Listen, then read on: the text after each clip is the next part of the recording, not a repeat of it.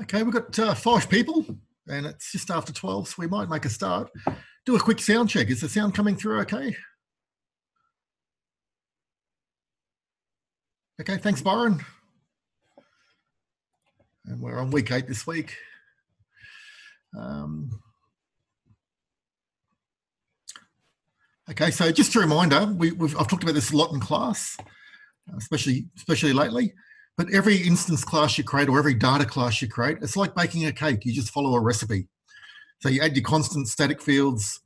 If you've got any threshold values on maximums, minimums, array sizes, make those constants at the top. Uh, add any private instance fields you need. Then add constructors. So you get your default constructor, parameterized constructors. You might have multiple parameterized constructors. Add your mutators, accessors, toString, and any other methods you need. Okay, so that's sort of like baking a cake. For every every data class or every instance class you create, they're the sort of things you want to be doing. Okay, so just follow the recipe. and, uh, same applies for the assignment, of course, assignment two. Um, so I've got some short answer questions in the tute.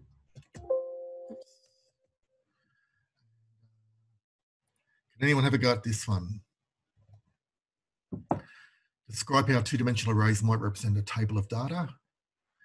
And we've also got the differences between an array and an array list. So it's just the main difference, but see if you can come up with many differences or several differences. Just see if you can do that. So I'm watching the chat window, see if anyone wants to join in.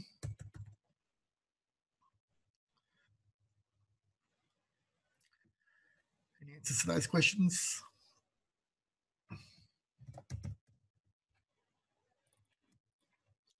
All about array versus array list. How are they different? How are they the same? Question says for the main difference, but let's talk about, see if we can find any more differences than just one.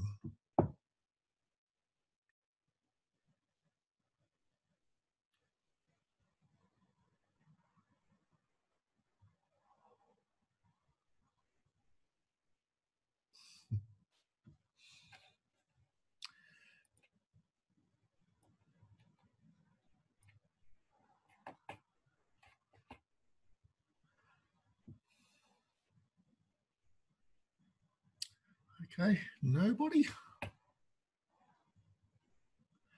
Can everyone see the screen okay? Is that coming through okay on the, on the, on the video? Can you see my mouse pointer?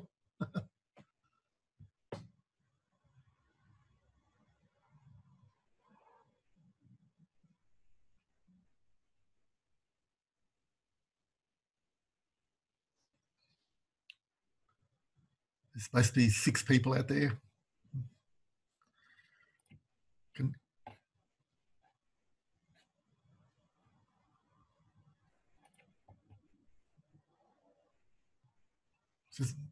Zoom says it's sharing okay. I'm assuming it's coming through. Gee, it's like uh, it's like talking to an empty class at the moment. so if you can please join in, that would help a lot. Yeses and nos even, or it's like I'm talking to an empty room at the moment. Very off, very off-putting, very disconcerting. Anyway, describe two-dimensional arrays. How do they re represent a table of data? Any ideas there? The difference between an array and array list? Any any ideas there? Anybody?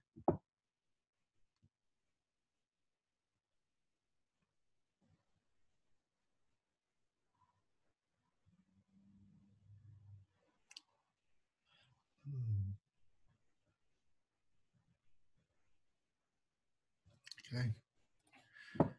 2D array. 2D array. Remember, it's a grid of rows and columns. A grid of pigeonholes, rows and columns. Okay. And that's basically a table of data. So It's like having a worksheet in an Excel spreadsheet. So it's like having a single worksheet, 2D worksheet in a spreadsheet, in Excel or any other spreadsheet. That's what a 2D array is.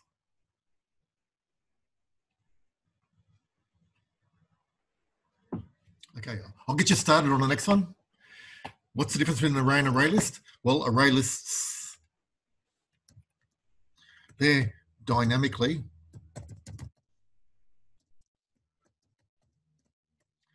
dynamically resizable. when the, when your array list needs to grow in size, Java takes care of it automatically behind the scenes. What else? Come on. Let's get some let's get some some some discussion going. array. How do you declare an array? How do you declare an array list? How are they different?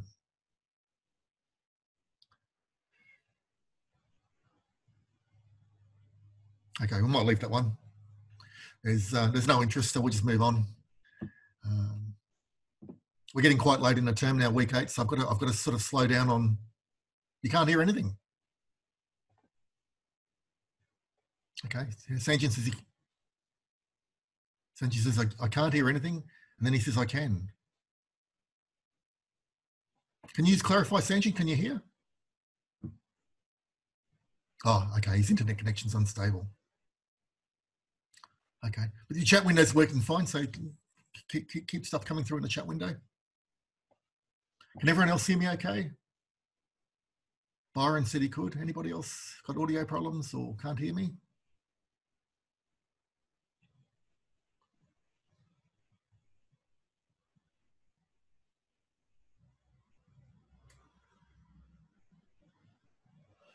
There's nothing in the chat window. Ah, okay. Okay, so Andrew can be fine. That's right. So Andrew just said this one. Um, so I'll just put that in here. Andrew said arrays can contain primitive and objects, but array lists can only have objects. And that's exactly right. Well done. We haven't actually talked about that too much. So arrays, array lists can only contain reference types or objects, which is quite right. Okay. Whereas array lists can contain primitive types, and reference types. Well done. Thank you for that, Andrew. That's very good. That's Andrew. So thanks for that, Andrew. And you, you, quite right. What about your, the way you, do, you declare them? So when you declare an array, you go um, string, square brackets, names equals new string. And when you do an array list, you go array list string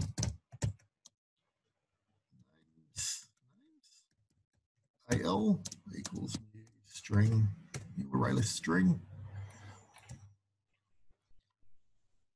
Okay, so can anyone spot any differences there? what about imports? Do you need any imports for arrays? Do you need any imports for array list? Okay, so you can see there's quite a few differences there. So arrays use use square brackets to declare.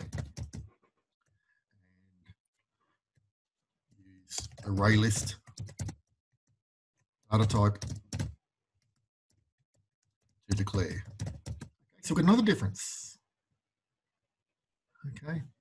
Arrays, you must size when you declare. Array lists, you don't have to know the size.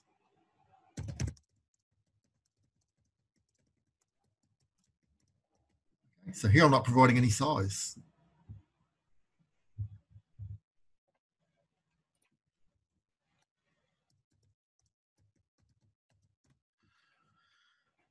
Okay, so arrays are not resizable. If you want to, if you want to create a larger array, if you run out of locations, you need to you need to declare a new array in memory, copy all the data over, and then change your reference back to point back to the new array. Okay, so you've got the resized array. So, but the original array can't actually resize in, in size. Okay. Ah, beautiful, Andrew. You're thinking nicely here. So more from Andrew. Andrew's the star at the moment. So array lists, you use size, add, delete, and those sort of methods. And um,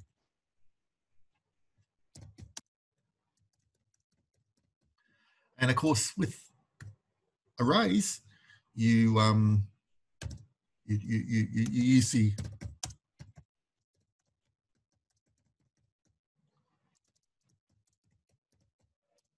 no methods involved really, unless you start talking about the arrays class, and that's that's a different thing entirely. Okay, so Andrew's Andrew's on fire here. Thank you, Andrew. Um, um, so how, how do you get the size of an array? How do you get the size of an array list? Can you remember? So we've got the, we've got the size of size gives you size or, or number of items. Array list. How do you get the size of an array? Beautiful. Thank you, Byron. Byron's got it there. He's on fire.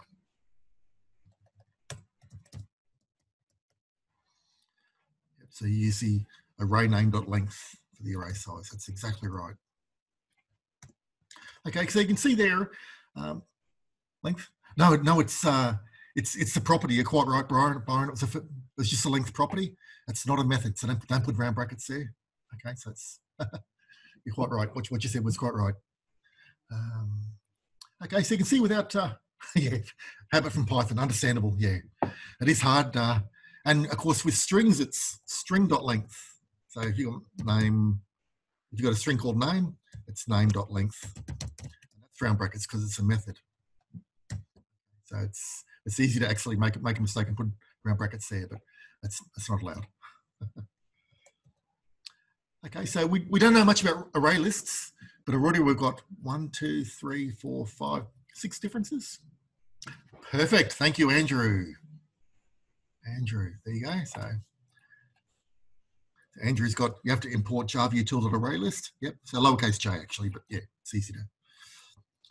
So if, if, if must import. So before we can use array lists, you must do that import. And with arrays, there's no imports. Use them straight away. Okay, so that's excellent. What, you, what you've done there is excellent. And we've got um, a whole bunch of differences there. So the, the, question said, what's the main difference? And the main difference I would have to say is that array lists are dynamically resizable and arrays aren't. Okay. Um, but of course, there's a whole lot of differences there. Even though we've only done array lists this week, you've, you've come up with a whole bunch of array. So that's, that's excellent work, I'd say. Well done. Thank you guys for joining in. Byron and, uh, and Andrew.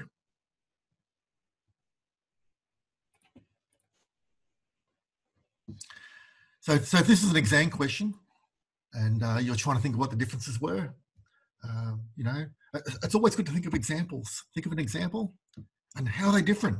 Okay, so this one you've got to use square brackets, this one you don't. This one you've got to say the data type up here.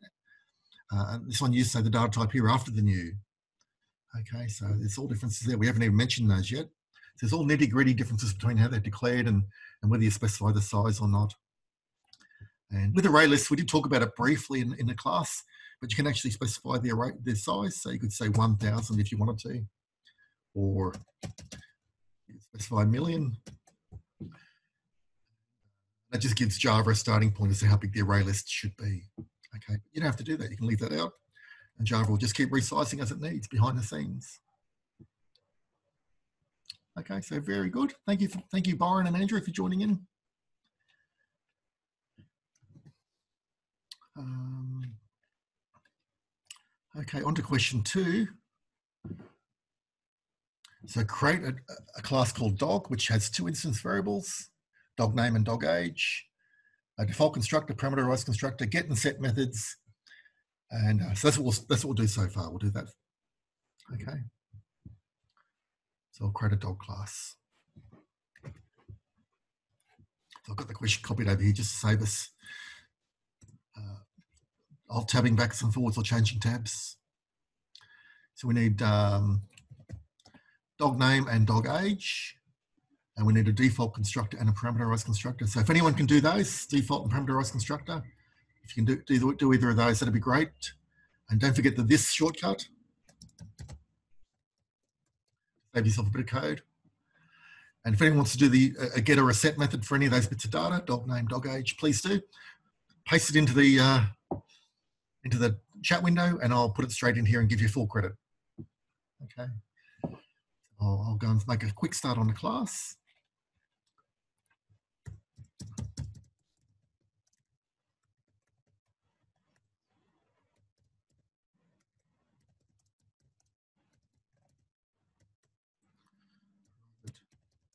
String name. We want a, a default constructor.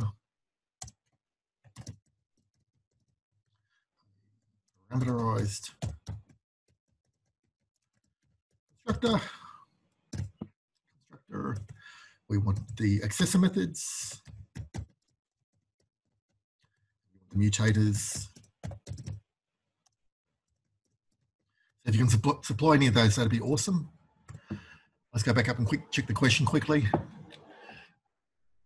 Instance variables, dog name, dog age, we've done that. Default and parameterize and get and set methods. That's all it says.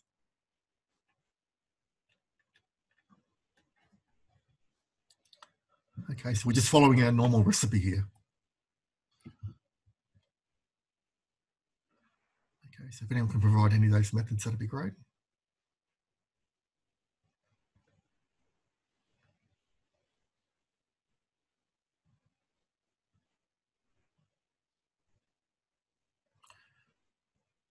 Okay, it's probably people typing.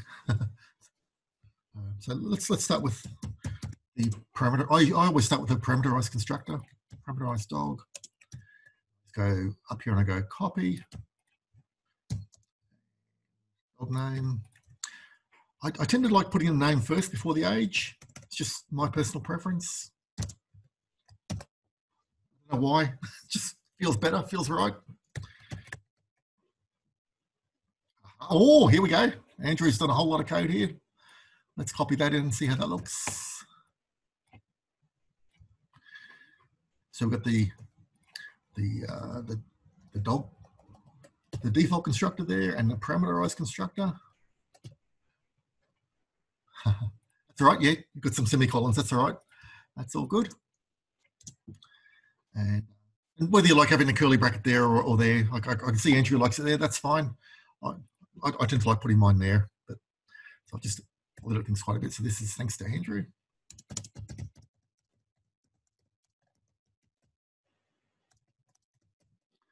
Special thanks. And this is special thanks to Andrew. And, and so remember that remember our trick for using the this operator. We can use our this operator to, to call this constructor. Just saves us duplicating code. Imagine there was lots of validation rules here and lots of validation rules here. We can make it so one constructor calls the other. So we'll do that. We'll do that as well. So we'll just comment that code out. And you could go this null comma zero if you wanted to, or if you want to initialize dog name to something, even a blank string, you could go double quote, double quote. Okay. So this this constructor here now calls this one. And don't forget it's uppercase D. It's got to match your class name, uppercase D.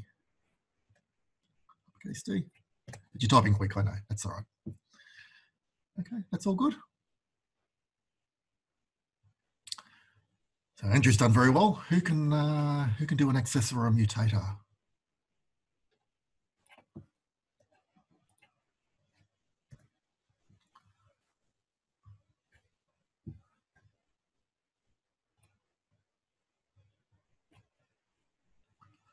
I, I, I, can tell, I'm just going through the list of names in the class. I can tell Wayne's not here because Wayne would be all over this. And he did say he'd be missing this week's class. So uh, if Wayne was here, he'd be joining in like crazy as well. Thanks. That's spell thanks right. Thanks. Okay, let's do one of the accessor methods. Public something, get dog name. Doesn't need anything to do its work. Are there any parameters needed? And what are we going to do here? We're going to return something. What are we going to return?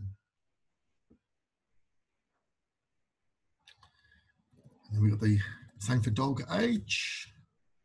Dog age.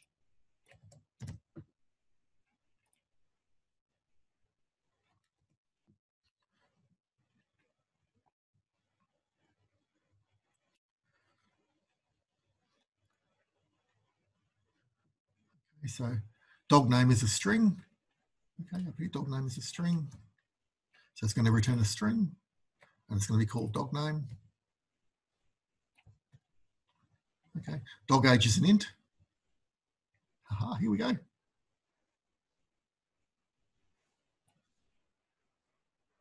they've got the mutators there from Andrew. Thanks, Andrew. Okay, beautiful. So let's have a look at that. So we've got this dot dog name equals dog name, perfect. And also, oh, he's got the accessors as well. Return and set dog age. Yep. And get dog name. So you had all of them there. Well done. Okay, I didn't see that first one.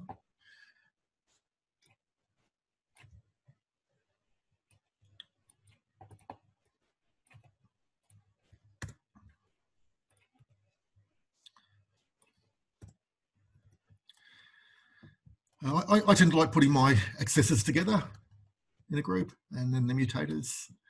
Uh, but if you put the accessor and the mutator for the same data item and an accessor and mutator for the same data item, that's fine as well. Group them however you like, as long as they're grouped some way, not just randomly thrown into the class. That's, that's all good, but that's great. What, what um, Andrew's done there is, is great. So again, special thanks to Andrew. So um, he's doing all the work so far. Okay, so so this code here is basically the same as what's in our constructor. It's just that line of code there from our, our parameterized constructor. And this code here is the same as our parameterized constructor for dog age, dog age. Okay, so if there's any validation rules needed, we would do the validation here for those fields and also down in here and also down in here. Okay, so if dog name couldn't be blank, if it had to start with an alphabetic character, if it had to be at least three characters long, all that sort of stuff, we'd put all those rules here and here. Um, if we had a third or a fourth Java course, we'd start talking about this sort of thing of how to optimize your code and uh, good practices. But for now, we're just going to duplicate the same code multiple places. Okay. Um, one thing I like doing as well is I like putting a, a comment on that closing brace for the class. So I'll go do that. It just shows that that's where your class ends. That's not a bad thing to do as well. That all looks pretty good. So control one, everything's compiling fine. Special thanks to Andrew for everything. well done. Okay, so we've done the first part. That's all done. Okay, so part D onwards create another class called, in the same folder called dogs. In the dogs, create an array of three dogs objects. In the dogs class constructor, populate the array using the new and the parameterized constructor and uh, create Fido, Rover, and Defa. Okay, so we're gonna have two classes. We're gonna have the dog class and the dogs class. The dogs class has got the array in it. Okay, so we're, we're moving into the into the territory now of multi multi-class projects, where the uh, other classes aren't just a tester class. Okay, so let's create a new file. Public class dogs. And then save it. Dogs.java. Dogs.java, beautiful. And the question says, Oops. I might copy these across.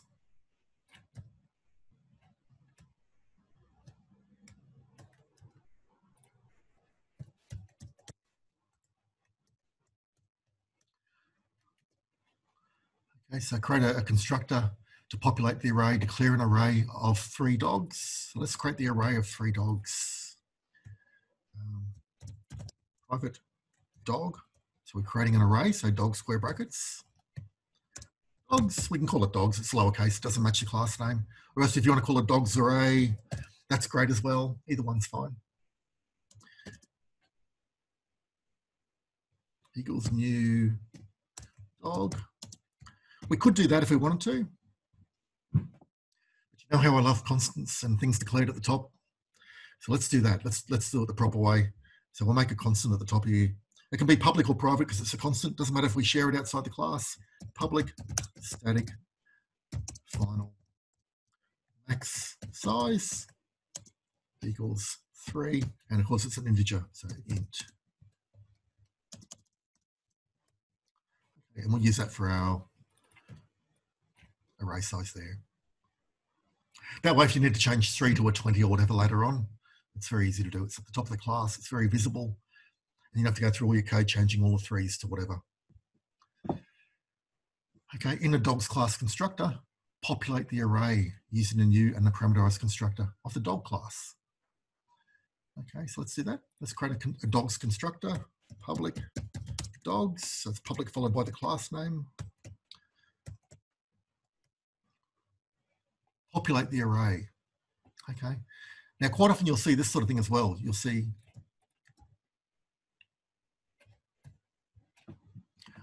Okay, so you declare the array up here as class data, but you actually create it down here in your constructor. And that's good practice as well.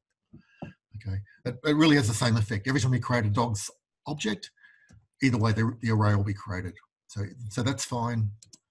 Okay, or if you want to do it inside your constructor, that's fine as well. Either, either way is fine. Okay, but let's create the, the dogs in the array. So for, we don't need a for loop really because we're not getting user input. It's not going to give us any advantages. So dogs array square brackets zero, the first dog, equals new dog. We're calling the dog class parameterized constructor. I'm going to pass in Fido and the age. So dog name and the age getting passed through to the, the dog class constructor. So we're just calling this constructor over here. Okay. So we've done that for the first doggy. Now we can do it for the other two. One and two. And it's Rover. Let's close that output window. Rover and eight. And Defa and two.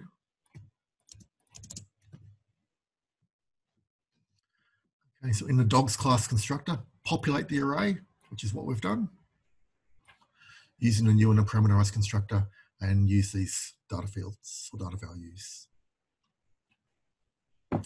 So we've populated our array, okay, with hard-coded data. We could we also be reading this in from file or database or wherever.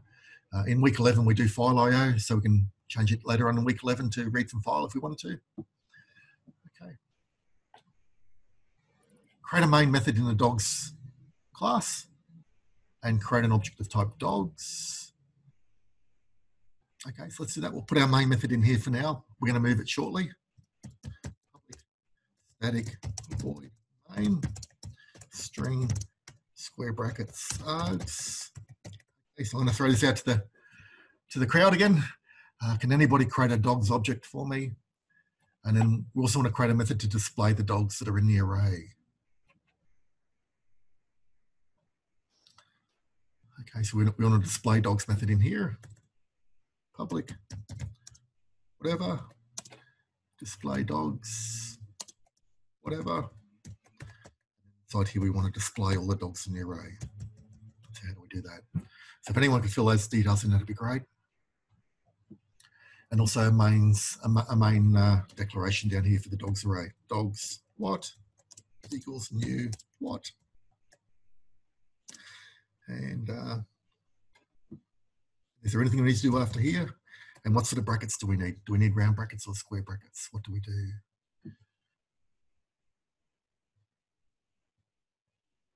And then something dot display dogs.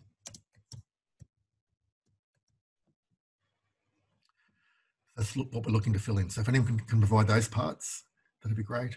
And dogs declaration and the the calling of the dogs display method.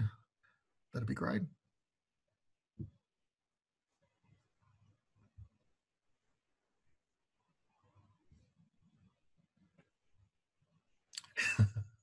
Andrew's doing all the work for everybody. Come on, everyone. There's other people here. Let's join in.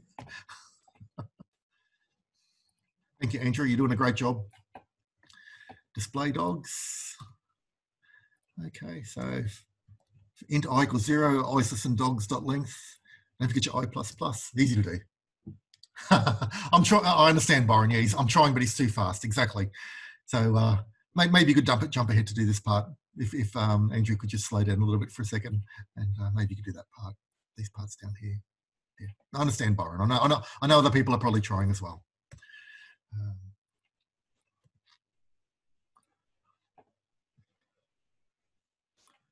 okay, so A couple of little typos here. It's uppercase system, it's lowercase i. Okay, that's not too bad. That's all going looking pretty good. And it's dogs dogs array i dot dot get name dot get dog name dot. There's a few dots here, but everything's very close. You- you- You're 99% there.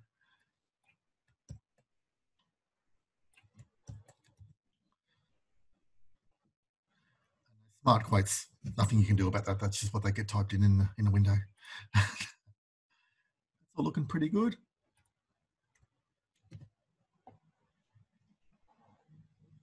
Ah, yes. Andrew said he's typing in Word and they, it auto happens. Yep. Understand completely. no worries.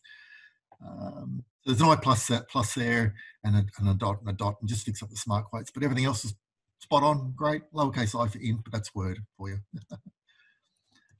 um, good.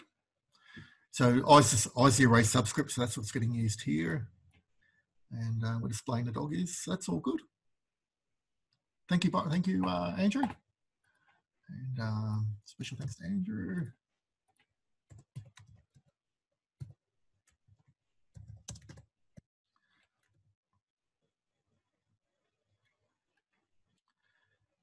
Okay, so with the display dogs method done. Um, uh, we've got it. I've got I added here at the uh, at the end of the loop. So we, every time through the loop, we add one to i. Yeah.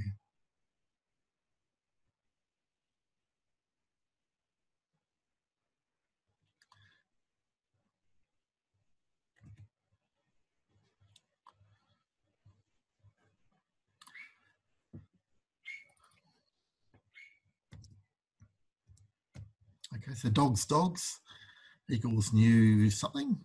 Dogs. We're creating an instance of our dogs array class. And what do we do here? Is it square brackets? Is it round brackets? Is it square brackets with a number in? Is it round brackets with a number in? What do we do? Because this is an array, don't forget. The dogs class is an array. So do we need to provide a size? And do we need to use square brackets here? Anybody got any thoughts there?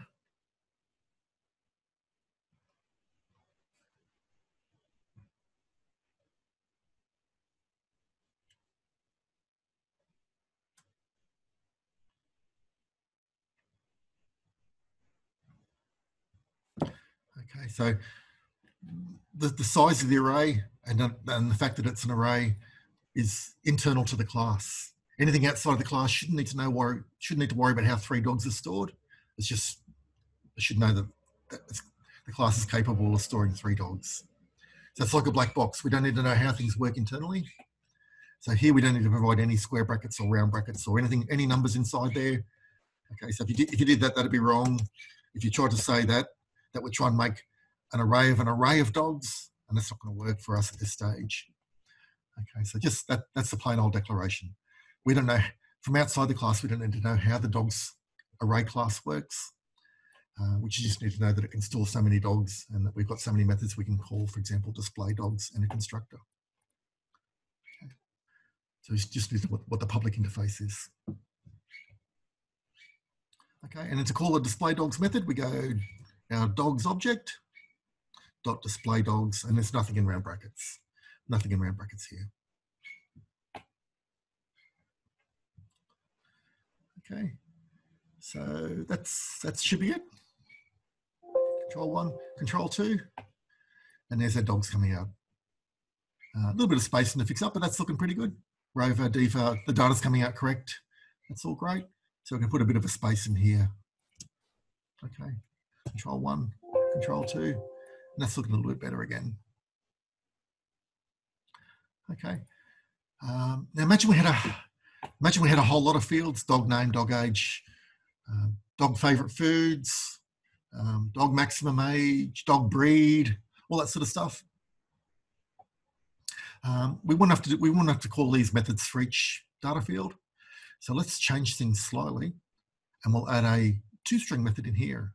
Okay, so toString method is something you'll, you'll, often add to your classes, and we'll use that to get the string representation of the data, which is takes us calling these methods. We can shorten our dogs array class code down by making our dog array, uh, our dog class a little bit more user friendly, a little bit more powerful, a little bit more functional. Okay, so we're going to try and shrink this code down here to just one line. Okay, it's not a big change we've only got two fields, but imagine we had lots of fields. We needed to get this, get that, get that. Okay, so let's let's add a toString, and that's an accessor method. So I'll put it up here with the accessor methods. Public string toString. Return dog name plus uh, tab plus dog age.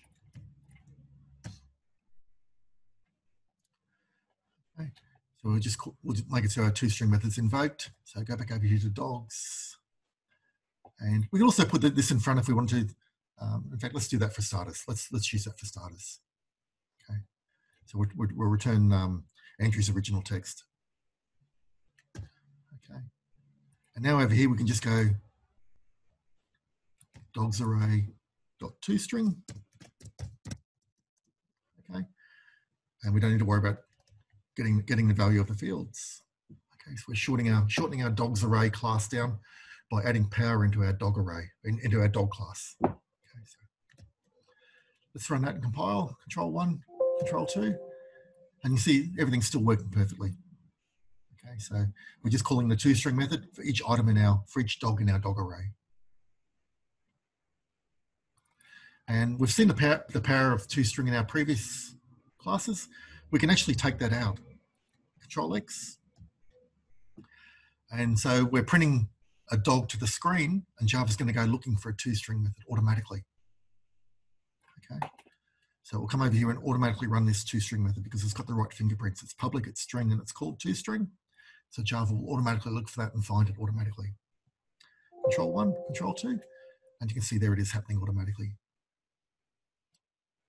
Okay, we've seen that in previous classes. Now I do like putting the dot toString in there. I like having it so it's uh, complete and obvious what's going on, but you, but you could leave it out if you wanted to.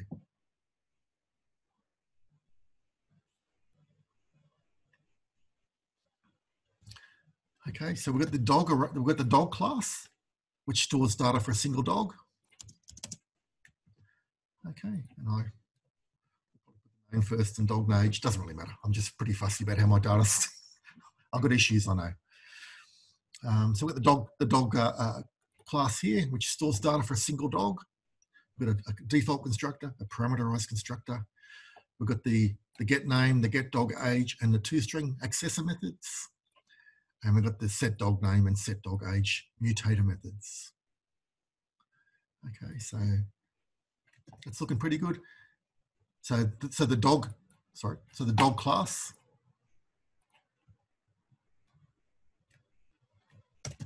So the dog class stores a single dog and the dogs class stores an array of dogs.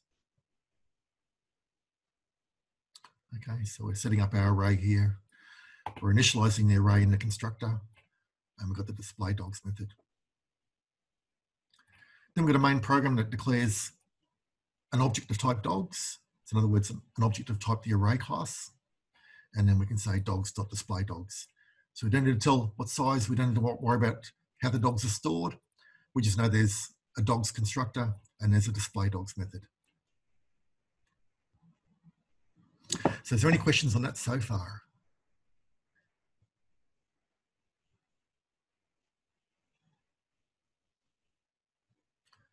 No questions so far?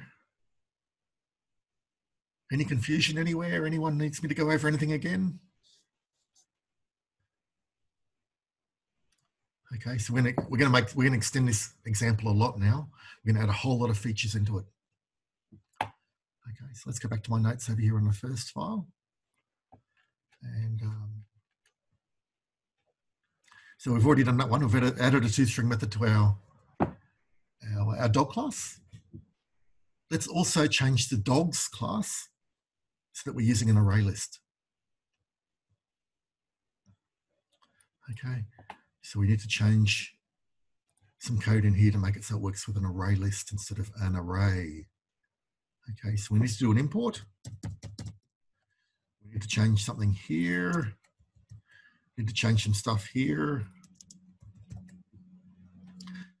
Change some stuff here and here. So you need to change a lot of things, but it's not big changes. Okay, so if anyone can fill in any of the gaps, any of the question marks, uh, if you want to provide that bit of code there, uh, it's probably a good idea for anyone who's Uh, not a super fast typer like Andrew to maybe jump ahead and do that, that part, because you can bet Andrew's going to do these ones up here. He'll have the answer before I've even finished speaking, probably. okay. Anybody want to do those or one of those, and I'll copy and paste the others. Okay, so we're going to change this so it uses an array list. Okay. So I'll pause for a second to give people time to type.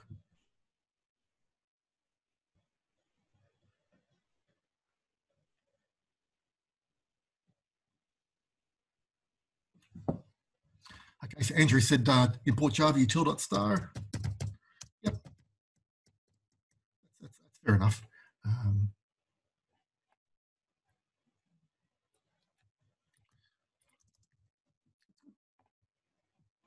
can put dot array list there if you want to, and, uh, but doesn't really matter.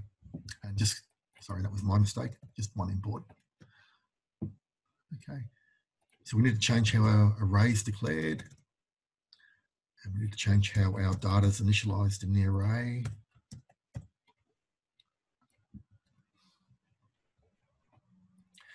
And we need to change our loop.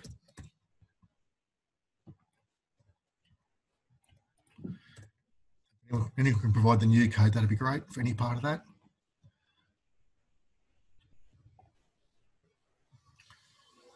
And we probably don't need our size anymore either. We could probably take that out. Okay. There's no point initializing an array list to three because it's initialized to more than it anyway and it's got room to expand.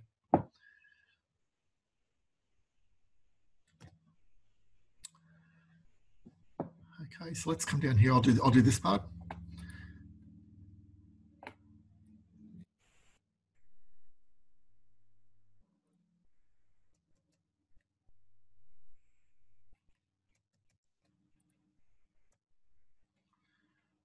In those gaps there.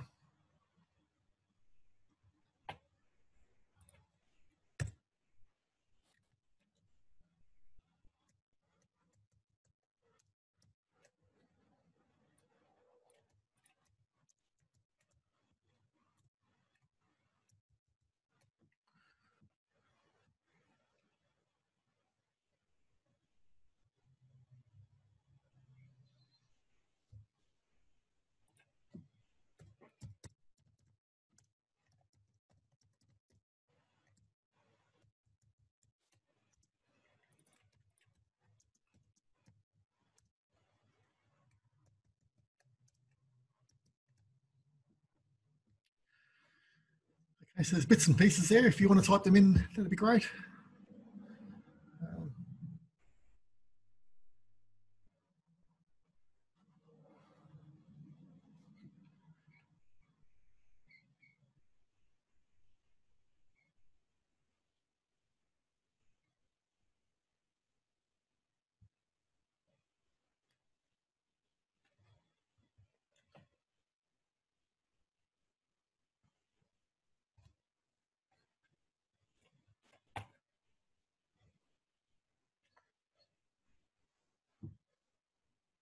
Okay, not much action, so I'll, I'll, go ahead and, so it's the add method you need to add data to into an array list, add. Okay, so, so we need a, we need a bunch of adds. Okay, and then new dog rover and new dog defer. Okay, so we're adding data into our, our array list, adding dogs in. When you declare the array list, you got to supply the type of data that you're storing.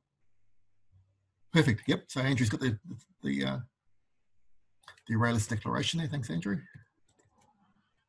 Oh, it's an array of dog. array list of dog, not dogs. Dogs is the own class. We'd be creating an array of ourselves. So we want to create an array list of dog. That's right. Very good. Okay, so, so make sure it's not dogs.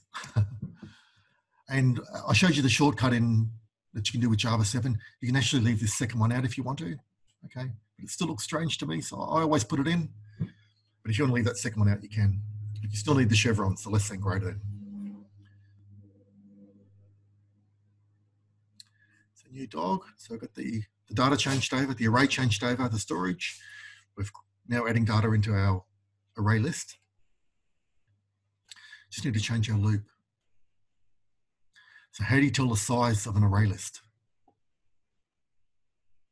How do you tell the size, anybody?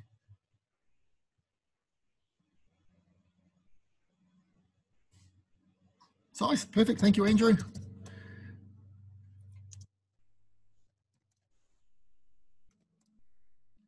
And we need to get the data out of the array list for each row in the array list or each item in the array list. How do we get the data out of an array list?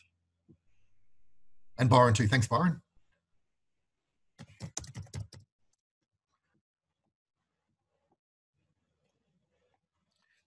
They came through together. Okay, so how do we get the data out of an array list? Get, yep, so that's good. And you've got to provide a number inside the round brackets there or, or, or a value, so we'll get i. So the first time through the loop, we'll get the one at location zero in the array list. Next time through, we'll get the location one and location two and so on. Okay, so you can see that changing from an array to an array list isn't a lot of work. It's, it's basically just change, changing the code to work with array lists. Okay, so left the old code there in case anybody wants it. Let's still compile, control one, control two. You see everything's coming through great.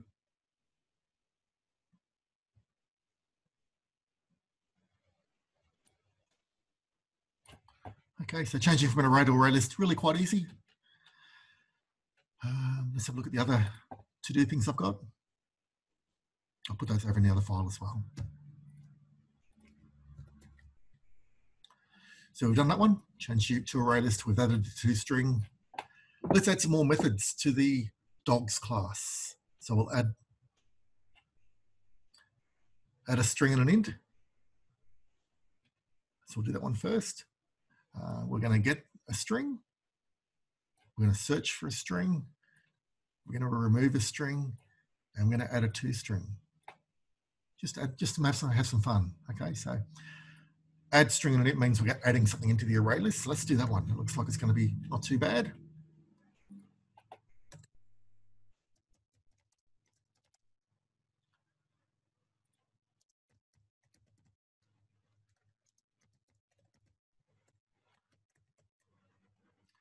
Wants to have a go at adding that dog's name and that dog's age into our array list?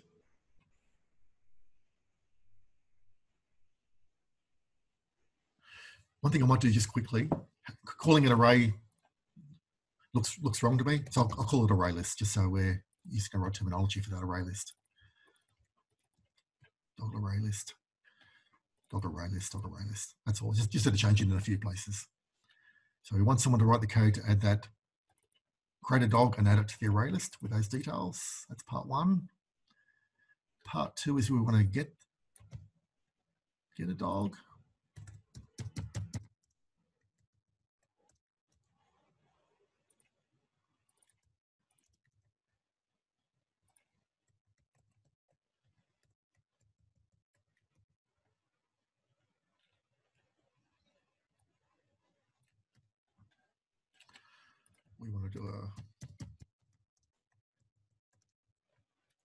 Search for dog name. And um,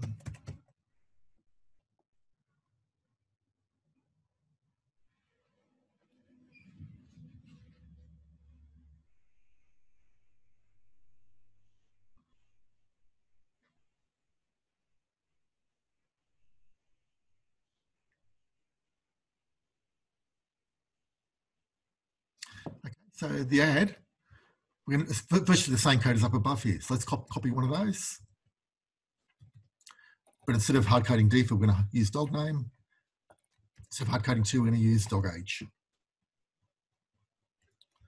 Okay, so now we can call the add method outside of the class. Let's do that.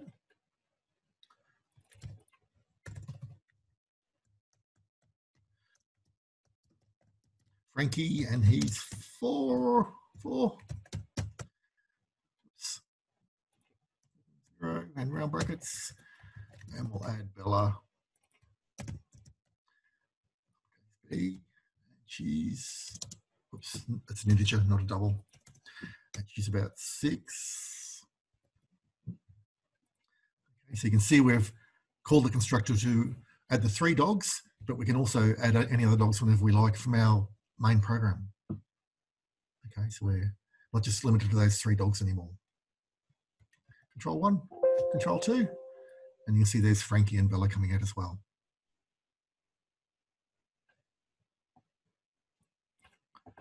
Okay, so we've got the add, we've got an add method so we can add data into our array list from outside of the class.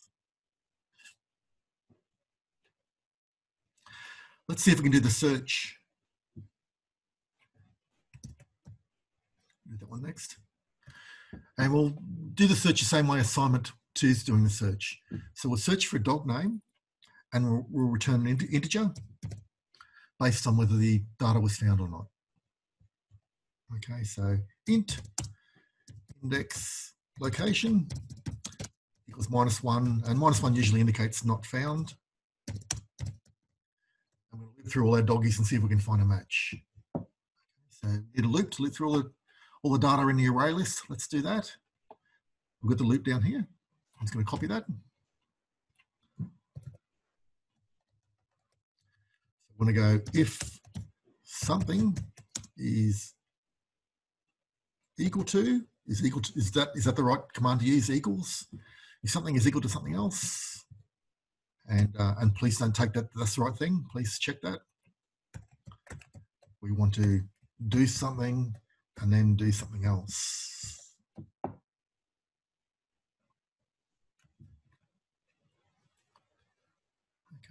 so we want to compare this dog name to the like to the dog name that's in the array list at that location can anybody write that code? And then when we do, we want to set something to indicate that it was found, and then we want to exit our loop. So what can we put there to exit our loop?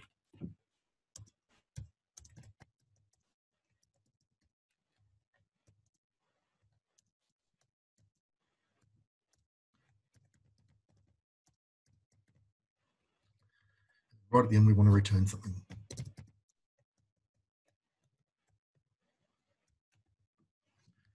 See if you can fill in any of the blanks there.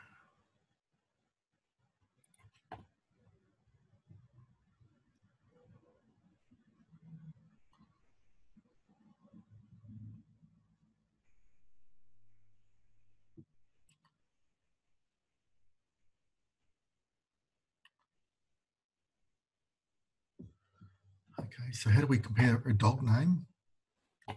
So if dog name dot equals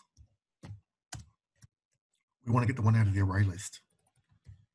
It's going to be array list dot something dot something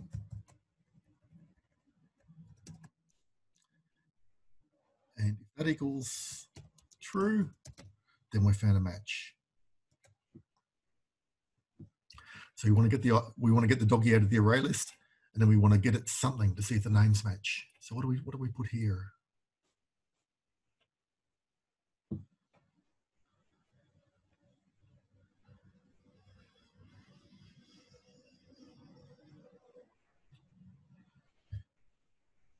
Okay, so we already found out how to get a doggy. Let's just get I. And how do we get the name of a doggy? We're going to come over here and call the, the get dog name method.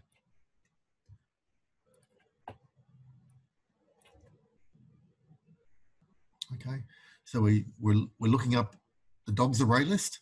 We're getting the item out of the array, the first, the second, the third, and so on. And then we're getting the name for each dog in the array and we're seeing if that matches what we're searching for.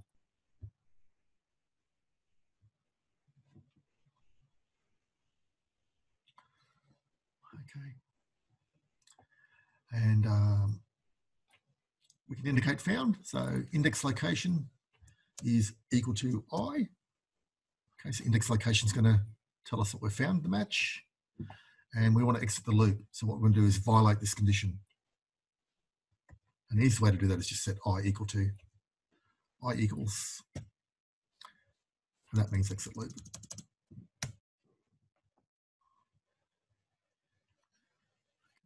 Last thing we want to do is return the location of the dog.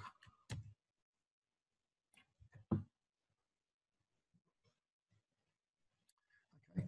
Now, maybe you don't want this method being called from outside the class. Maybe you do, maybe you don't. It's sort of a funny method to allow from outside the class where it's returning an integer to an index that you don't have access to. so maybe we want to make that method private. Okay. Maybe we don't want it to be public.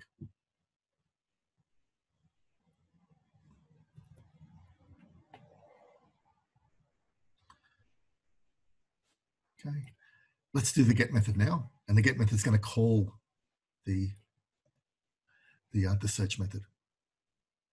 Okay, so let's do that. Um, so let's do int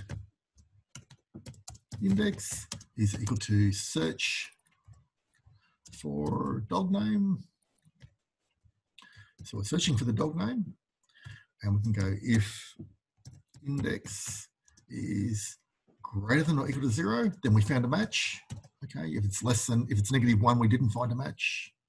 So if it's greater than or equal to zero, we're all good. We can, we can do something. We could return now if we wanted to. Uh, we're going to return anyway. And we, what do we want to return? Do we want to return a dog or do we want to return a string?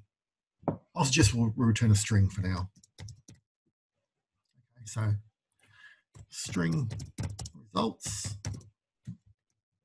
equals not found.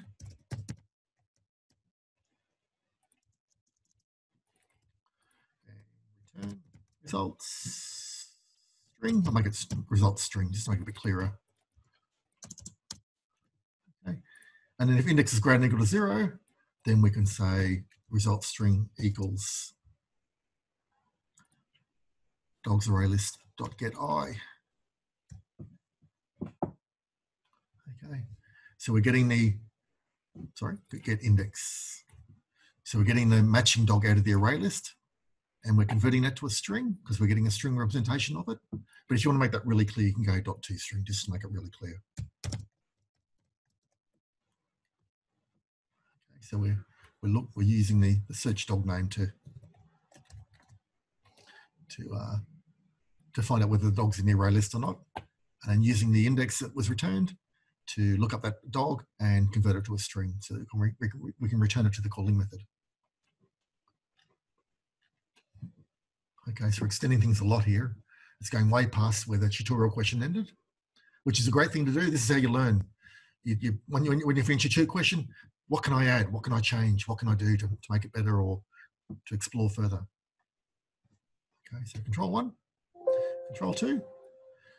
That's still our code. We haven't done anything yet. Let's do a search as well. Or, or a get.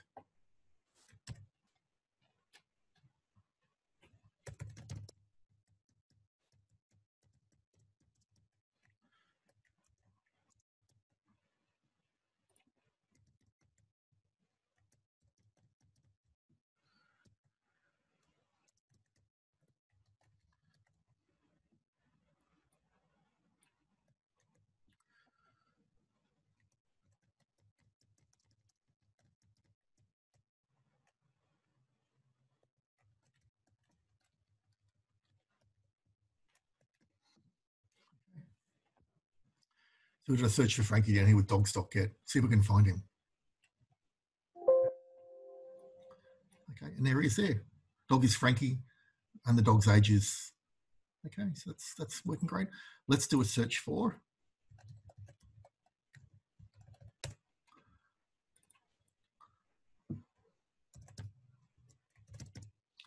Let's do a search for big dog, okay, who's not in our array.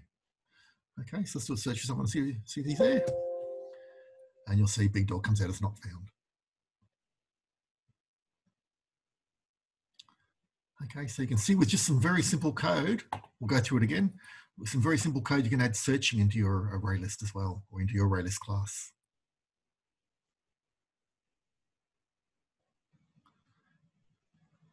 Okay, so we've we added a search method. And maybe we could improve that further by making that ignore case, ignore case equals ignore case to make it so you can enter lowercase name and it still finds it if it's title case or whatever. Equals ignore case. So this method here sets index location to minus one. loops through the through the dog array until it finds the first match. And when it finds a match, it says index, index location to the location of the doggy and then exits the loop. So we're comparing the dog name that was searched for to the one in the array list at each location in the array list. Okay. And then at the end, we return the index location. And we made that a private method because we didn't want this callable from outside the class. Okay, so make that private. And we've got a get method here to look up a dog. So get, and I can pass through a dog name. We set the result to not found. We call our private search method for that dog name. If the index is greater than equal to zero, we found a match. Did we find a match? And if we did, we can set the results to that dog. So using the index to look up the dogs list array list and converting that to a string, which means we're calling the toString method for the doggy. Okay. So get index returns a dog, and we're calling the toString method for that dog.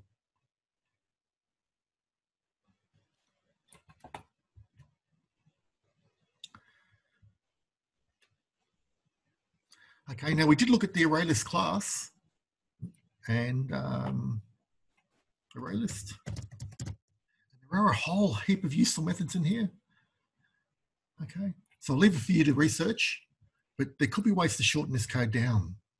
Okay, there might be methods already built into the ArrayList class to do this sort of stuff for us. There might be a suitable search method, but is it case sensitive? Okay, so I'll leave it for you guys to research. So to do,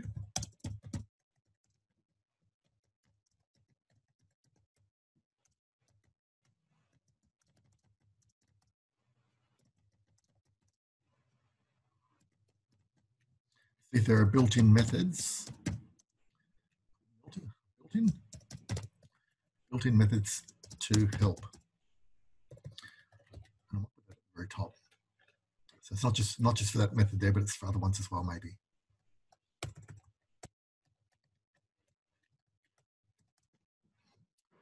so there might be methods in the array list class can save us work, in which case we should use those instead. So have a look and see. What about sorting? What about if we want to sort our array uh, array list? What about if we want to sort our array list? What will we do? I think we've, we haven't done that in class yet. We've sorted arrays, but not array lists. Okay, so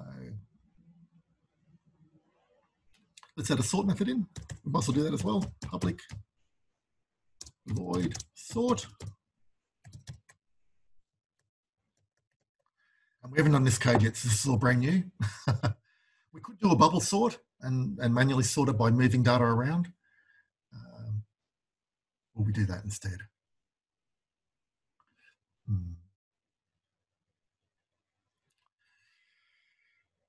We might do that instead. We need a for loop.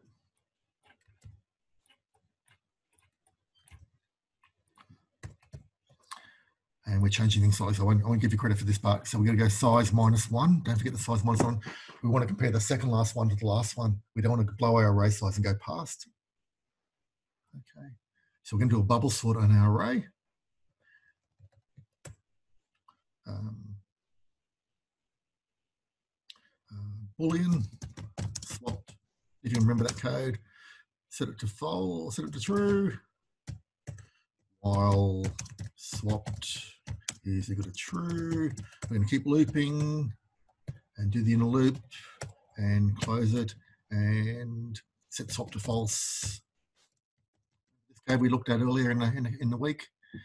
And if something matches or something's out of order, we want to do the swap.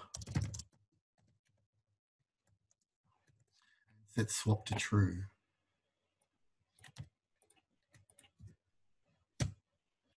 That's sort of the skeleton of our search, of, of our sort, okay? So we're gonna do a bubble sort, just, just for the fun of it. There, there are built-in sort functions for array lists. Uh, we could do this in, what with one line of code, but it also needs a little bit more Java than we've done so far. So I can't really show you that just yet. Okay, so let's just do a bubble sort. We can do the bubble sort.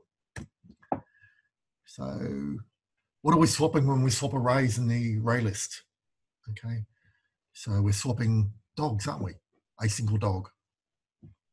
Okay, so dog temp is equal to um, array list dot get i. And we want to set the, the one at the next location to that one. So we'll set, set that one to the next location. So we want to set, use the set command. Set the one at that location to, to the next one. Okay, so dogs get and dogs set. And then we want to set the original one, or set, set, set the original locations one back to, or set, set that locations one to the uh, to the original one that was at the first location. So we're, we're backing up the first one, setting the first one to the second one, and we want to restore the second one back with the first one's details. Okay, so it's dog set i plus one to the original, which is temp. And that should be it for the swapping. Now we're going to see if they're out of order. And we'll, we're going to, we'll do a, we'll do a, uh, a sort by name. Okay, so, and we know how to get the name of the dog because we, we did it up here.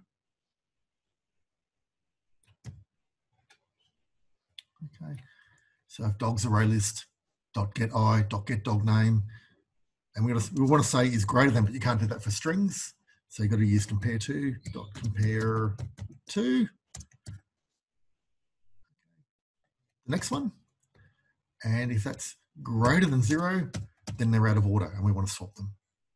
Okay, so it's we're getting the, the name of the current dog and comparing it to the name of the next dog in the array. And if that's greater than zero, we want to do a swap. It's just the same code we looked at for employees and employee arrays and array of strings. It's the same code. We're getting the current one, storing it in temp, setting the current one to the next one, and setting the next one to the original value of the first one. Swapped, swapped is true. And that should be it.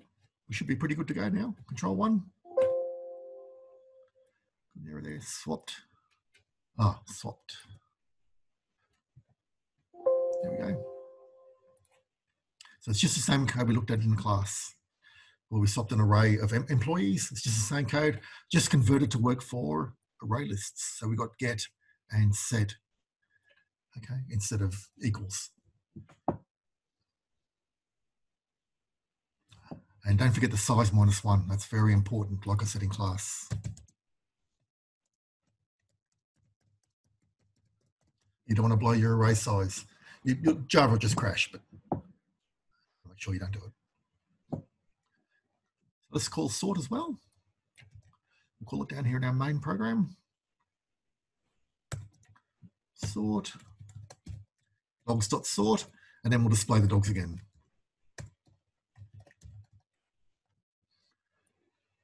After sort,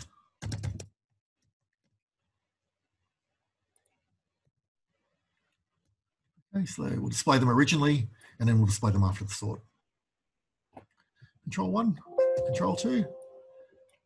And you can see here they'll just store random in the array and here they're sorted by name.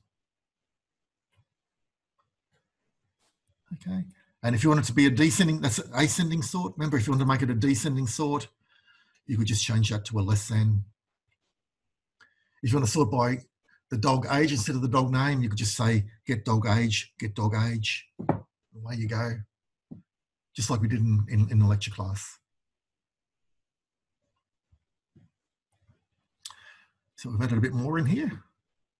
So I've added the, the add method, the get method, and the search method. Um, we could add toString and remove as well. We might as well. Look, it's a good thing to do. And we've also added sort. So we have got a sort method. Let's now add a remove method to remove the dog if we find it. Okay, so let's do that. Sort, and I would put that down here with, I would call that a, sort, sort's really a mutator method as well. It's changing class data. Search is a accessor method. Get is an accessor method. Adds a mutator method. It's changing class data. So we might put all our mutators together and all our accessors together. So get, search, sort. So these are the mutators.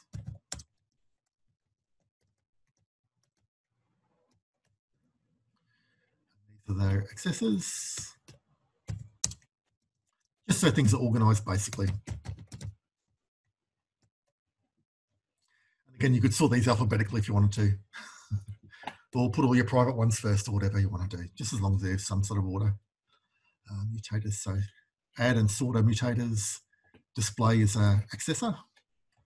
I'll put that up there with the, with the accessors. Okay, that's looking pretty good. So now we want to add a remove method.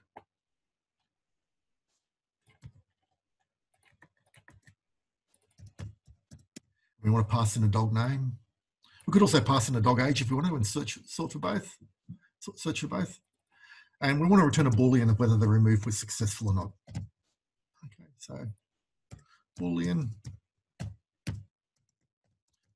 Set it to false to start off with. Set it to true when we actually do the remove. So we want to find if that dog name exists in the array, which we've got a method for that already. It's our search. Search method up here. There it is, our search method and we call that in our dogs, in our, in our get method. So let's use that.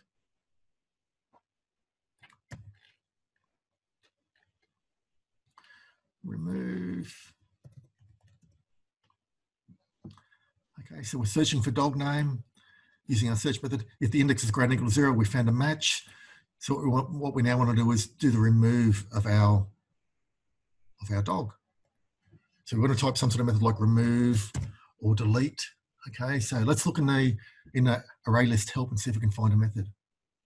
So clear clears everything. That's no good. We don't want to delete everything. Is there a delete method? So there's nothing there between C and D, C and E, so there's no delete method. So let's get down to remove. And you can see there's a remove that removes a, an index. So it removes an object at that index. So the remove method's there, let's use that. Dot remove index. Okay. So we remove the doggy. Let's now set removed to true. And don't forget to return that what the value that removed was. Boolean method there.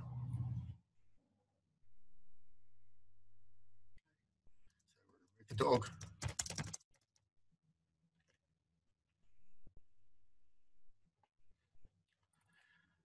Call let's call remove here.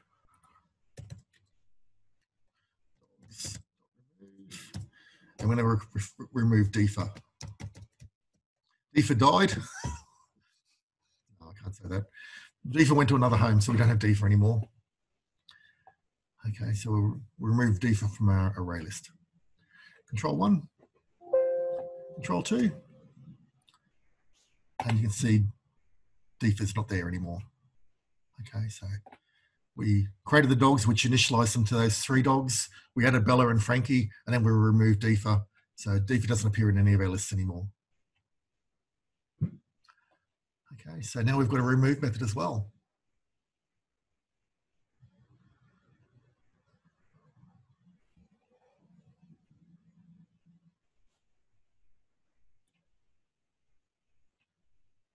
Are there any questions so far on anything we've done? The get, the search, the display, the add, the sort, or the remove?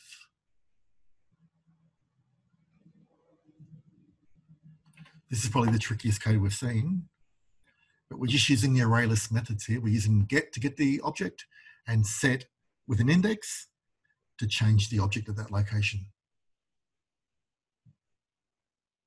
That's probably the trickiest code we've seen but it's just doing that same code we looked at in the lecture. We're just converting it into array list notation.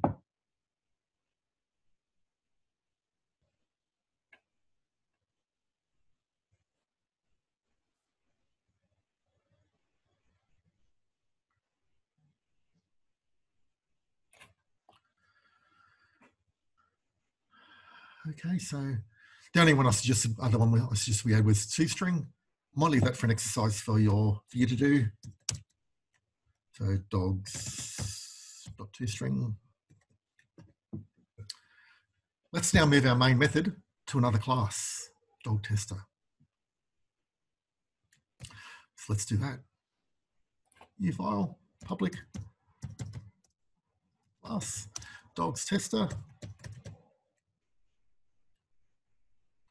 dogs tester with the Java, that should be fine.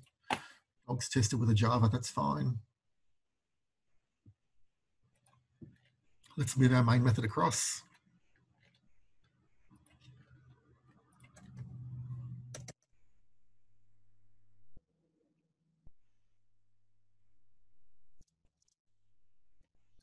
Okay, so now there's no now there's no main in our in our dogs class. There's no main in our dog class. So the main method is now in our dog tester. So now we've got a three class project. We've got the data class, we've got the array class, and we've got the, the main user interface class, which is our just our basic console application. It's only displaying data at the moment. We've got no user input, but we could change it so we're getting scanner input or swing dialog input and uh, we could be doing all sorts of things in here to add dogs to the until the user doesn't want to enter any more dogs and and sorting dogs and all that sort of stuff. So searching for dogs until the user doesn't want to search anymore. All using the same the previous code we've looked at in prior examples in lectures and tutes. Okay, so we could add uh, a whole lot of stuff in here. But let's a compile, control one, and run it, make sure it still works and everything's working great. Okay, so we've now got a three we've now got a three, a three class project. So it's almost a mini database. Okay. So uh, if we added save to file, load from file, we'd be almost there. We'd almost have a mini dogs database on our hands. Okay. So got search and, and sort and all sorts of things we could add. Okay. So are there any questions on what we've done so far for the dogs or dog or dog tester? Any questions so far? Everyone okay? Any confusion?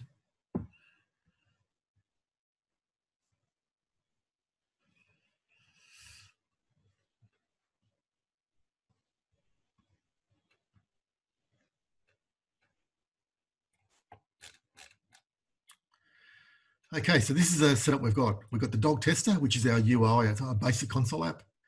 We've got the dogs array and we've got the dog data class. So that's the array class and that's the data class. So some questions for you and you can answer in the chat window if you like. Where does the data for a dog reside? Which class is responsible for the data for a dog?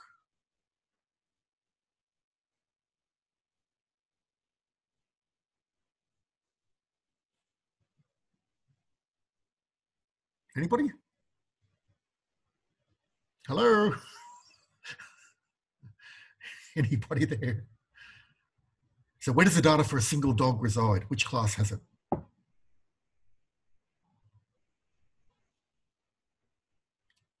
Ah, beautiful. Thanks, Byron. So Byron said the dog class, and he's exactly right. Okay, so the dog class is responsible for keeping the data for a dog. Okay, so, so it's responsible for that. Okay, beautiful. Thank you. Thank you, Byron.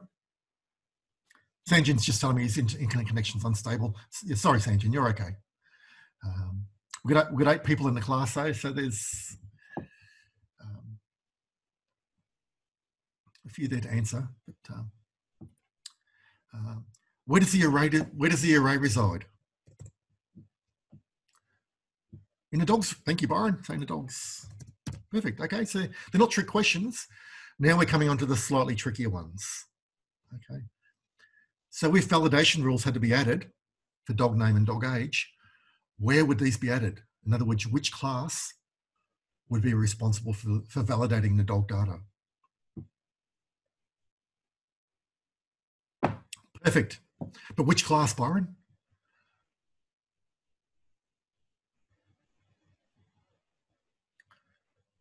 The dog. Perfect. Okay, so it'd be the dog class where, where you would add the validation, and it would be the setter and the constructors. The setters and the constructors is where you'd want to add that validation. Later on, if we had a third or a fourth Java class, I could show you how you could make it so it's just in one method, the validation code. But we haven't, haven't done enough Java yet, even though it's really not that hard.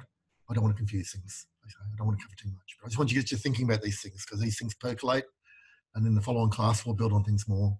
Okay, so, so it's in the setters the constructors of the dog class. So is there any validation needed?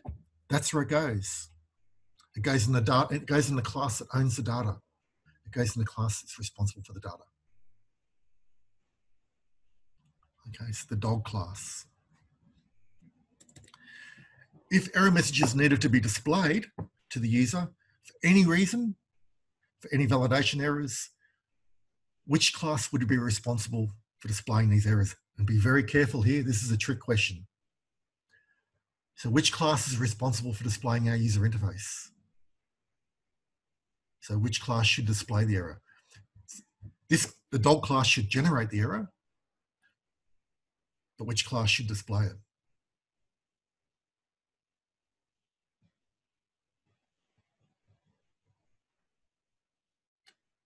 The main program, exactly right. So our dog tester class. That's right, Sanjin, thank you. Okay, so it's dog tester. Okay, so um, you, you might think, well, for what we're doing at this stage, it would probably be okay to do the validation and the error messages all from the dog class. Okay. Um, but imagine we're writing those error messages out to the console screen. And then somebody comes along later on and develops a GUI of our, of our dog class and our dogs class. And in a GUI, you can't see the console screen. There's no console screen. It's just all the GUI components. So you could be generating error messages, putting them out to the console screen, and the user will never see them. okay, so um, so that's why the user interface class, whether it's a console app or a GUI, which we're doing next week, we're doing the fun stuff, the GUI stuff next week, that should be responsible for displaying error messages. Because it knows where to display them. Console screen, swing dialog, a label on the user interface,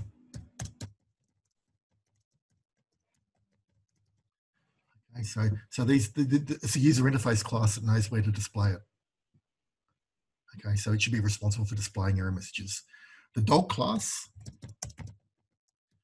generate error message. But ideally, it should not display it.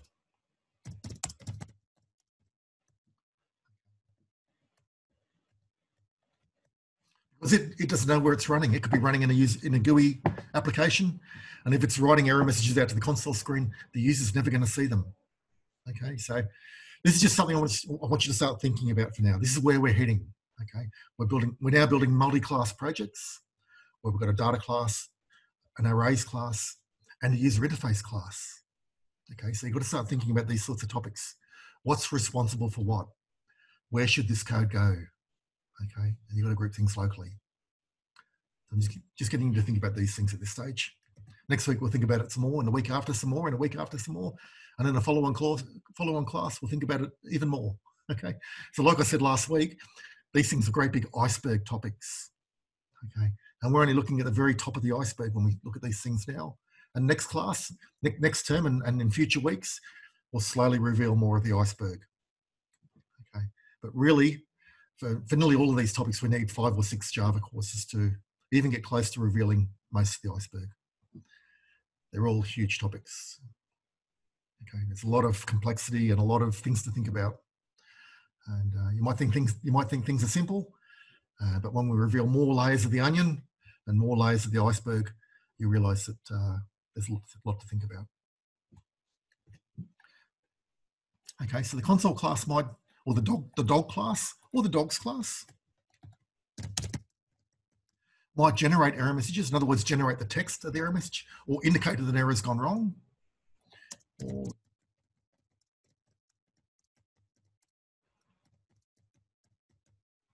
okay. But it's really the user interface class that's responsible for realizing that an error has happened and displaying the error message. Only only it knows where it's running. Okay these these classes here they don't have a clue whether they're running in a console app or a, or a um, or a GUI app or a, a web app or anything like that Okay.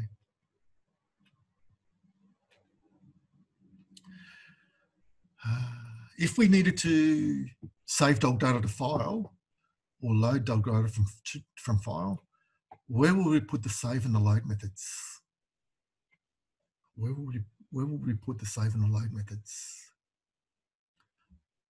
Okay, we call them from the main, but where will we put the actual code that writes out the data and, and, and, and loads back in the data when we run the program again? So where would that go?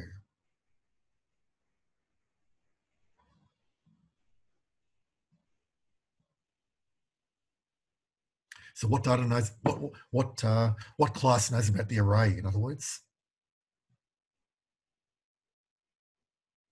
So it's a class that stores the data, that knows about the data, that's responsible for the data.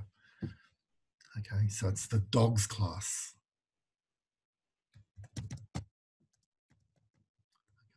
So it should have the save and the load methods in it because only it has access to the data that's in the array. Okay.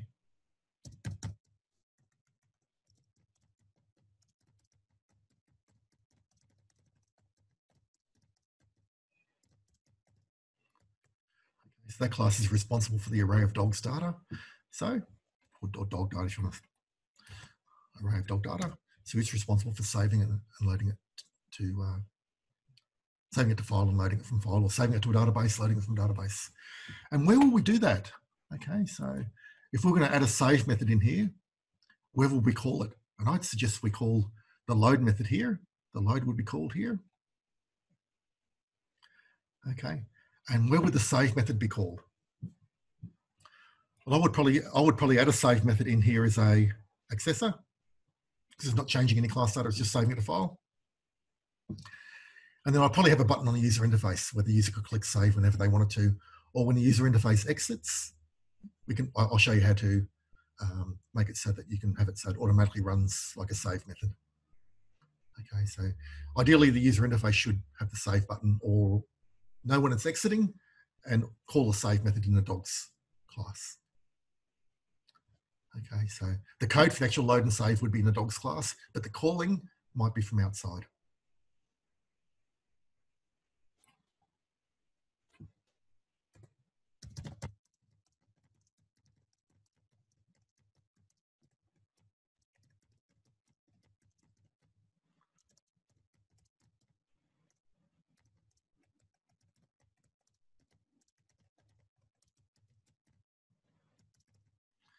So the, so the methods could be called from outside of the, of the dogs class. You know, from the user interface class, when the user clicks those or saves buttons, but the actual code will be save and load definitely belongs in the dogs class.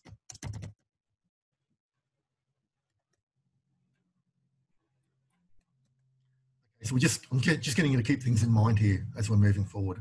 Where should code go? How should it be, how should it be laid out? What's responsible for what? Okay, so you keep these things very clearly in mind. Otherwise you can easily end up with a mess. you can very, very, very easily end up with a hell of a mess. Okay, especially when we start moving into more classes and more whatever. Okay, so one final question for you to think about. If we change from a console app to a GUI app to a web app. Now, we haven't done any of these yet. We've only done console apps so far. And if you want to count the ones where you display swing dialogues as GUI apps, they're not really, they're not really GUI apps. They're really console apps with a, a GUI dialogue tacked on. Okay, but if you want to move from a console app to a GUI app or a web app, what classes would need to change? Which of these classes would need to change if we move to a GUI app or a console app or a web app?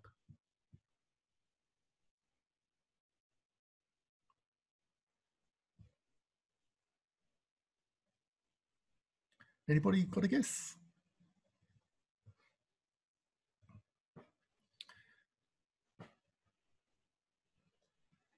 Okay, and the answer is this one. Whatever that, whatever that user interface class is called, dog tester, uh, that's the one that's got to change. So if we wanted to rewrite this whole application as a GUI application, and we're going to do that next week in the tute, then uh, all we need to change is our dog tester class. Instead of using the console screen, we're going to make it so it uses labels and buttons and that sort of thing. Okay, so this all lead, this is all leading into what's happening next week.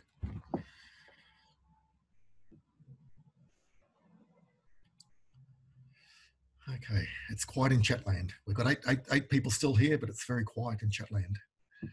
I think we're missing Wayne. Wayne needs to come along more often. Well, he's only missed one class. Okay, so we're missing Wayne. um, okay, so that's the beauty of it. If we move to a, if we move to a GUI or a web app, these these classes here shouldn't need to change. Okay, so they're 100% reusable no matter what we do. It's only the user interface class that needs to change. Where it's getting the data from, where it's displaying the results to, that's the user interface class. That's all it needs to know about. Okay, and none of these classes down here should care what the user interface is. They shouldn't care whether they're running on a console screen or a GUI or a web or whatever. They shouldn't care at all. They should just work no matter what. Okay, so that's where we're that's where we're heading. Each class has got a certain responsibility and it doesn't mix and match.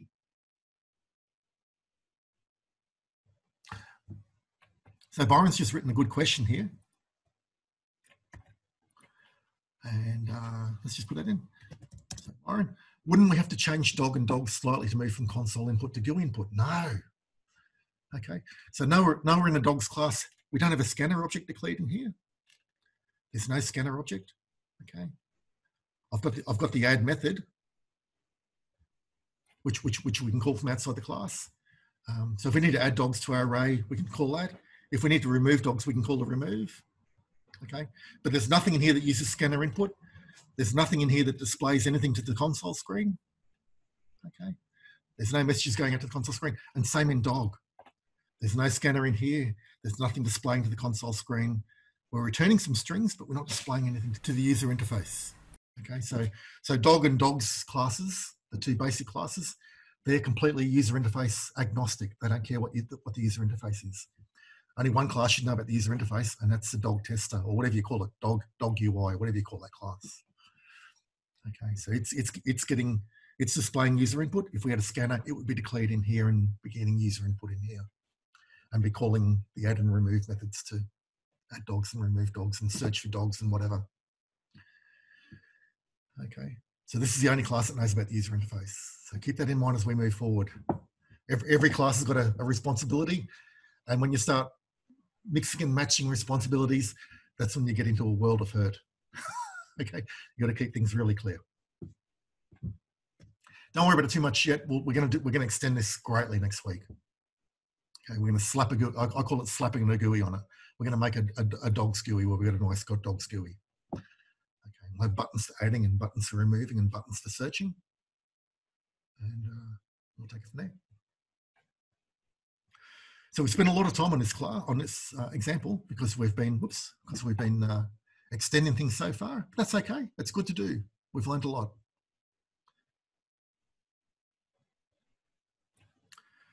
Um, so we've done question two and we've done way, way, way more than question two. Let's look about question three. Question three, create an array list test class with a main method and create an array list of strings called names. Add Tom, Dick and Harry to the array list. Print them out in a loop. Remove Dick from the list. Insert John at the beginning and use the traditional counter control loop. And we'll also use a, a for each loop if you want to. But this question here seems really basic compared to what we've just done. And we've done that in class already, but we can do it again quickly if you like, array list test. Do it quickly, files. I didn't think we'd do it, so I haven't even got an, template prepared for us. Um, public class, array list test.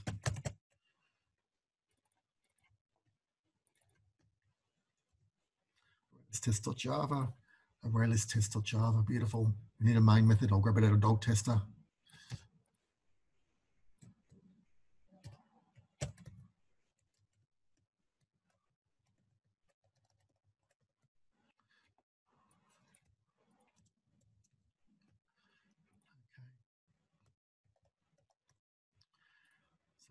Said, let's just copy it over. Before we move on, before we move on from that dogs, that dogs question, are there any questions on dog or dogs or the dog tester classes? Are there any, any questions, any confusion?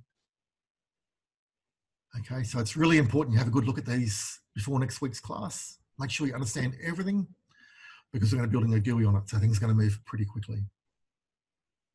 But are there any questions before we move on? Anything in dogs? Anything? Any confusion anywhere? Anything? Anything you're not sure of? So there's a couple of to-dos there. And also add some for uh, week 11 when we do this, the file IO. It would be a good thing to come back and add the save and the load in as well.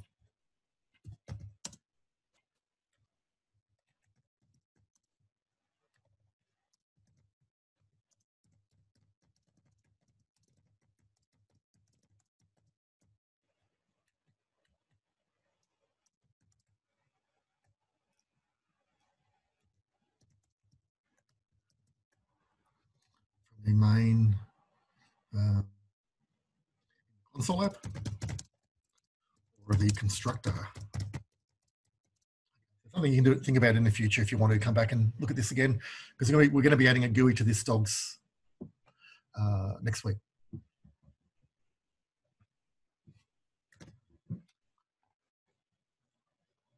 Okay, so no questions there. Let's do this one quickly, just this array, array tester one.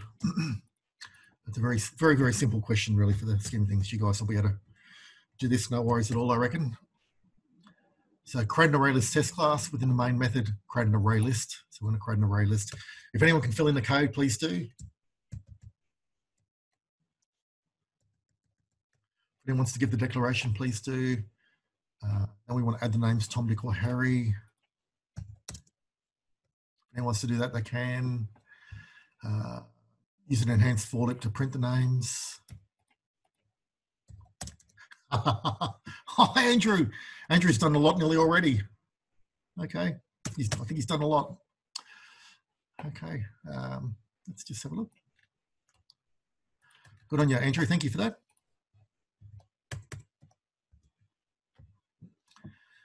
Okay, so we've got the, the, the array list being declared. We're adding Tom, Dick, and Harry. Perfect. We're using an enhanced for loop, which is this little chap here for string name in, in the name array list, which is perfect. Print them out to the screen.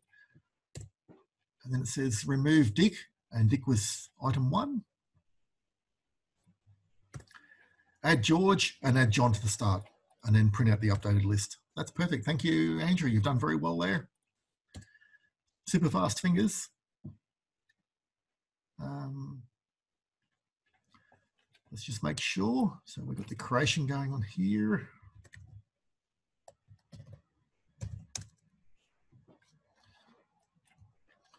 We've got the display here. We've got the add names here.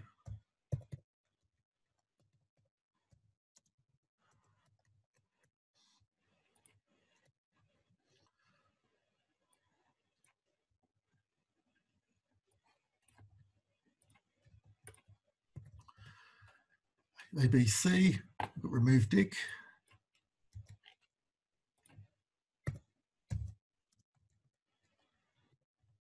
If anyone can think of anything, any better ways to do these things, or it's got alternate answers, please, please uh, speak up. We can insert John or add George. Oh, and add George, right? And add George, yep. So John at the beginning and use a traditional for loop to do the updated list. You see my indentation's a bit messy, so I'll just pull it all over to the left. Shift, shift, shift, shift tabs, tab, tab, push it back over. And uh, that's looking pretty good.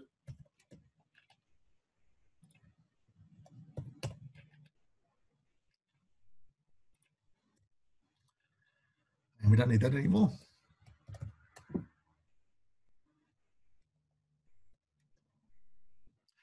So you can see a couple of, couple of points here. Uh, Andrew's, this is all thanks to Andrew.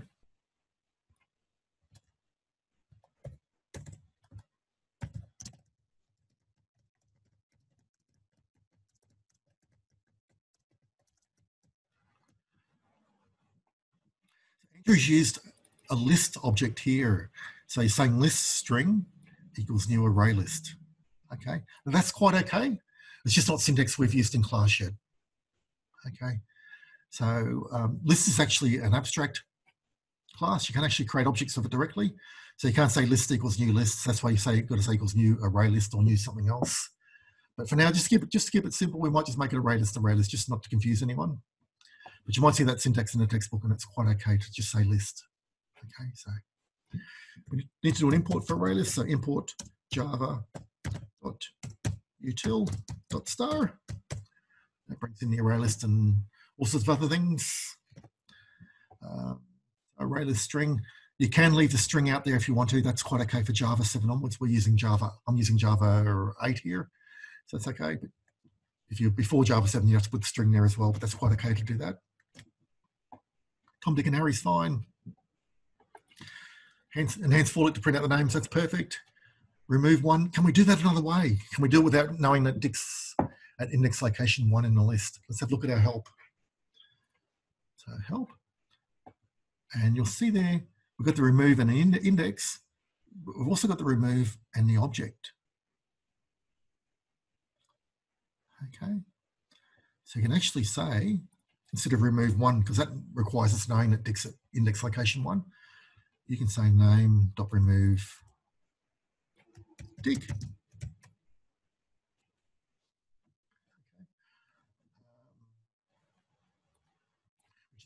Which is probably a better answer, especially if your list is changing. Okay. Um, adding George, that's fine. That's a, that adds George to the end of the list. This is adding John at the start of the list, so everything else is shuffling down. Tom and so on shuffling, shuffling down. And then we'll display the updated list. Control one, control two, and everything's great. So there's the updated list, John, Tom, Harry, and George. Okay, so Dick's gone and George is at the end and John's inserted at the start.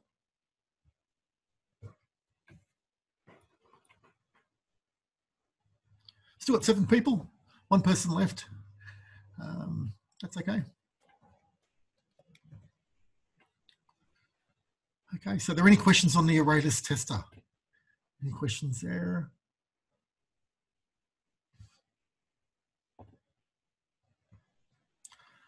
What about if you wanted to, what about if you want to erase your array list? In other words, delete everything out of it. Is there a command for that? You remember the command? We just mentioned it briefly.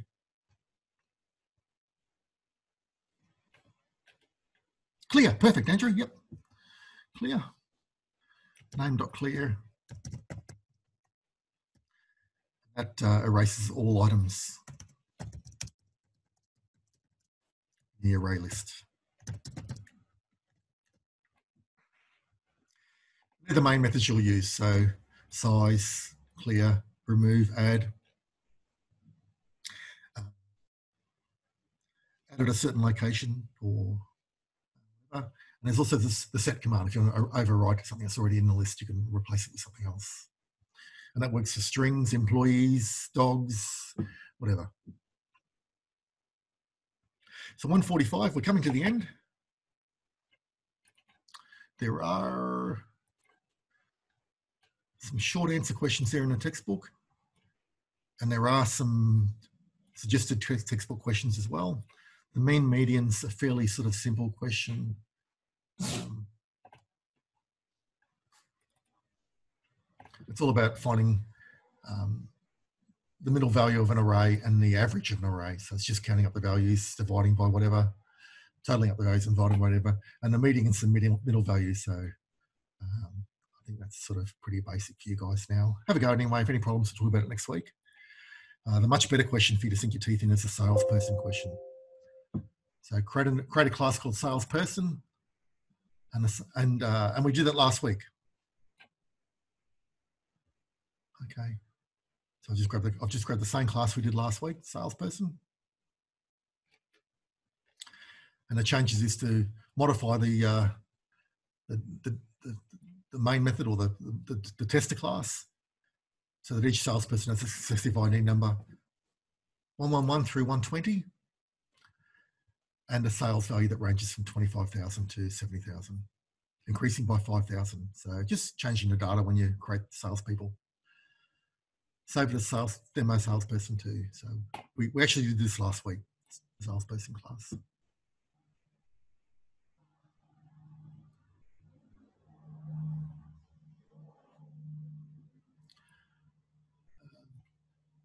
declares an array of 10 salespeople, sets each ID to 9999 and sales value to zero. Display the 10 salesperson objects, save the, save the files as those and those, and then modify them with these ranges of values. I think you'll be okay with that one. That's um, no, no, nowhere near as hard as what we're doing with the dogs class. So see how you go. Uh, any questions? Well, we can tackle them next week. So next week's our week on GUIs, which I'm hoping you'll you'll really enjoy. So next week, so development. So we'll be doing things like labels and buttons and menus, checkboxes, and uh, data entry boxes. Big big fields where we can display multi-line results called text fields and uh, and so on. We're doing all that sort of stuff next week, and we'll be, building nice GUI applications. So from next week onwards, we'll be doing GUI stuff. Okay. Uh, I'll try and make sure we do something each week, so that even when we're doing the file I/O week, we'll make it so you can click a button and it will save it to file. Click a button and it will load it back from file.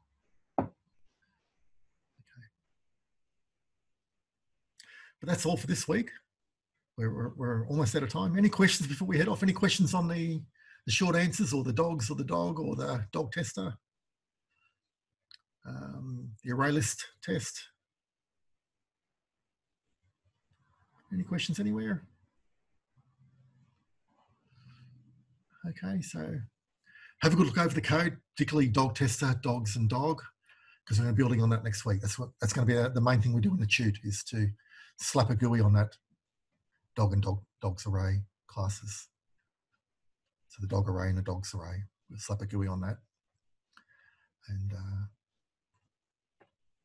and we'll build an app where you can click an add button to add a dog, click a search button to search for a dog, click a delete button to delete a dog, and uh, all those sort of things. Okay, down to six people. So it's me and five others. Thanks for watching. Thanks for coming along. Uh, have a good weekend and make sure you get lots of practice. lots of practice. Okay. Thanks, everyone. Special thanks to Andrew and uh, and Byron, Andrew Byron, and, and uh, were, the, were the main two that uh, typed in lots of answers. So thanks, Andrew and Byron. Have a nice weekend. Bye bye.